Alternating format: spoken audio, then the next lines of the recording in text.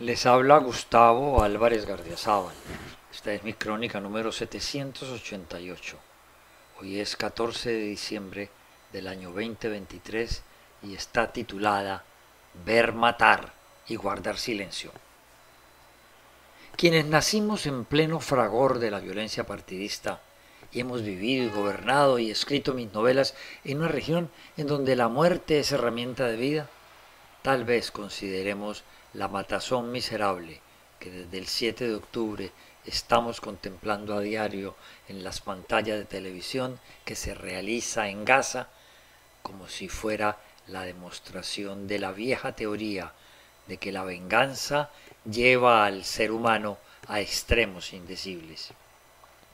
Pero cuando uno hace el balance y ve que la masacre de 1.200 israelíes en los kibbutz de las fronteras de la ciudad sitiada despertaron una sed de venganza pregonada por el primer ministro judío y sus esbirros, que no parece parar y que ya llega a decenas de miles de muertos, de los que por lo menos seis mil son niños indefensos, no queda más remedio que pensar si el mundo es capaz de tolerar y seguir patrocinando esa sed de venganza.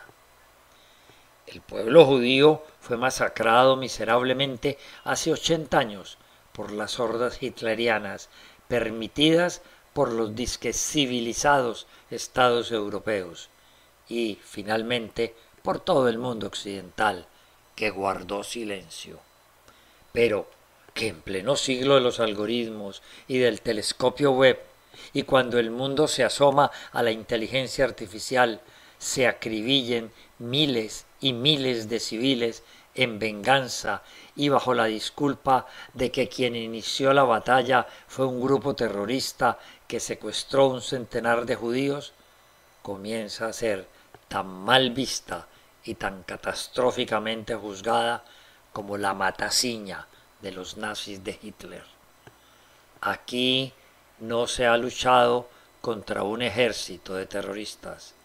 Se ha bombardeado, destruido y acribillado a más de 20.000 civiles, buscando que entre ellos estén los terroristas que mataron a 1.200 judíos.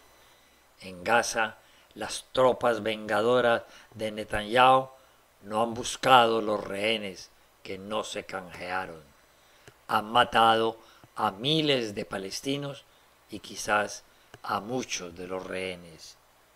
Es la estupidez elevada a la dignidad de masacre, masacre permitida por unos gringos que le temen a la plata de los judíos en Wall Street.